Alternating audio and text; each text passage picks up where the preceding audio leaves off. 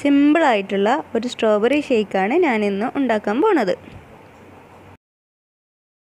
ഇപ്പോൾ സ്ട്രോബെറി നന്നായി കഴുകിയതിന് ശേഷം നമുക്ക് സ്ട്രോബെറി ഇതുപോലെ ഒന്ന് കുനുകുനാന്ന് അരിഞ്ഞെടുക്കാം. അപ്പോൾ കട്ട് ചെയ്ത് വെച്ച സ്ട്രോബെറി നമുക്ക് സ്ലോ മോഷനിൽ മിക്സിന്റെ ജാറിലേക്ക് തട്ടി കൊടുക്കാം ചൂടുകാലമൊക്കെ അല്ലേ അപ്പോൾ ടേസ്റ്റി ആയിട്ടുള്ളൊരു ഷേക്കായിരിക്കും ഇത്. ഇനി ആവശ്യത്തിന് പഞ്ചസാര കൂടി ചേർത്ത് കൊടുക്കാം.